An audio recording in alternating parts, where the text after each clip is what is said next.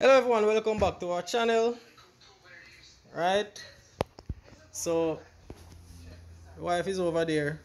She's going to um what, what is it? The the, the, the, the decent word for to say pull out Jazeer here. She's going to unravel Jazeer Jazeer's ear. She have a comb Jazeer ear and then no so what i want to show is these cabbage. So i got these cabbage the, these um cabbages recently. And um i had to strip them.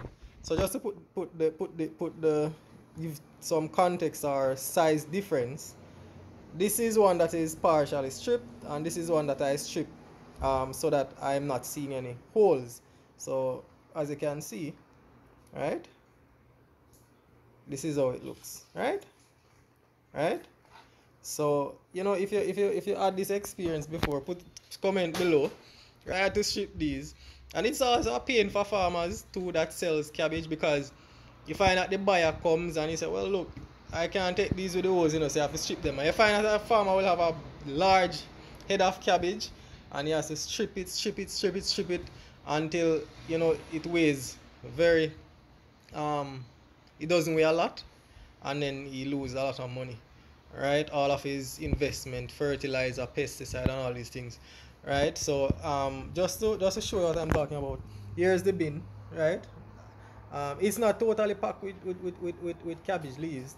It's maybe about um about maybe like about a third one third cabbages because i had to ship like one two three four four cabbages so far to really arrive at this which I'm going to cook now right? Some people will say well look I prefer the leaves being looking like that and I strip them off because that cabbage is more healthier.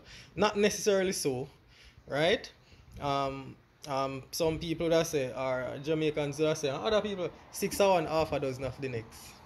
Something like that. Also so? I also yeah so so um, what I'm trying to say is that you might see a cabbage with, with holes in it, right?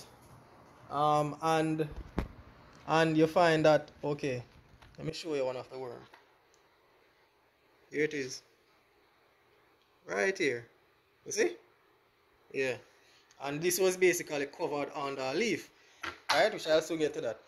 So you find that some farmers are backyard gardeners, they they basically will spray and you find that the, the, the whatever insect biting the leaves basically resistant to that spray. So it's not like they're not using any spray.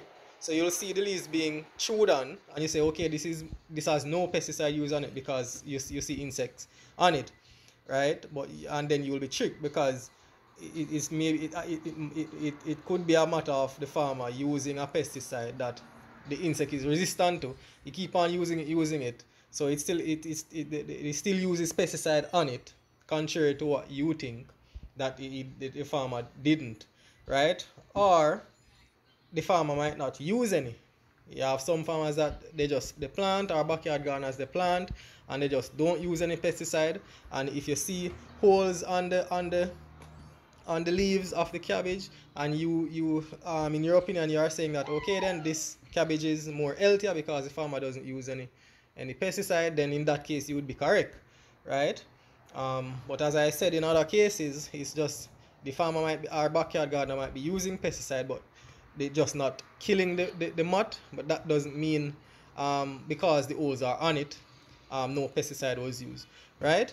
So, and another thing too, you find that even when you when you remove the the, the surface of the, the the surface leaves, and you say, okay, then I'm not seeing any more holes. You find that if you cut the cabbage, right? If you cut the cabbage like this and you look inside, you might see some more burrowing or holes inside because what happened is that sometimes when this cabbage start to fall in its young stage, younger stage, and just starting to fall, you find that you might have the insects um, being fall over, you know, into the cabbage head and then the cabbage continue falling falling falling and, and and it traps the insect inside the worms inside and the worms basically start to eat from the inside out.